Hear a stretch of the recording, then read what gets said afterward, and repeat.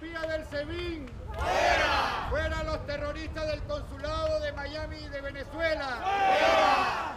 Centenares de venezolanos y otros exiliados acudieron al llamado de protesta en contra de la cónsul Livia Costa, convocado por la Organización de Venezolanos y Perseguidos Políticos en el Exilio, BPEX. El exilio venezolano y el exilio latinoamericano dice presente para combatir a estos oprobiosos que quieren violar la ley de los Estados Unidos. Gustavo Lemos, representante de la Sociedad Ecuatoriana del Exterior, unió su voz a la protesta exigiendo la destitución de la funcionaria consular venezolana.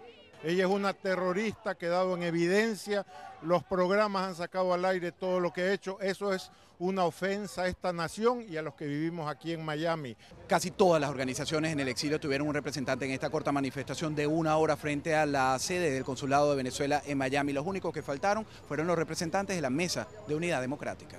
La ausencia llamó la atención de algunos de los manifestantes, en particular de Helio Aponte, presidente de la Organización de Venezolanos en el Exilio, Orbex. Sí, se encuentran todas las organizaciones cubanas, nicaragüenses, las venezolanas inclusive, están acá. Eh, lamentamos que no haya algún representante de la Mesa de la Unidad. La Voz de América, el único medio informativo con el que la cónsula ha conversado sobre el tema, intentó contactarla personalmente en el piso 3 del edificio en Brickell, donde funciona la oficina consular, pero el acceso no fue negado. Como venezolano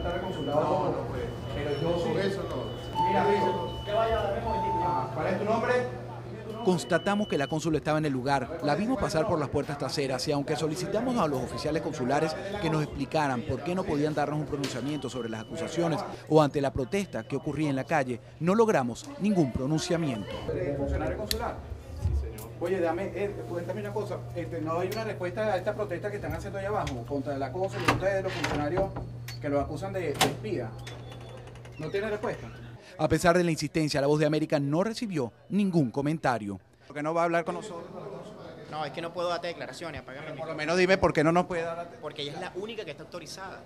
Recuérdate que es una, una polémica con ella y no va a poder hacerlo. Ronald, La periodista Patricia Poleo aseguró que en el gobierno de Venezuela están radicalizando sus acciones y necesitan gente con las características de la cónsul Livia Acosta. el, el Ministerio de Inteligencia eh, que va a tener a su mando el SEBIN y la Dirección de Inteligencia Militar, eh, lo- va a manejar la Dirección de Inteligencia Militar Wilfredo Figueroa, que es un eh, agente de inteligencia del gobierno preparado en Cuba.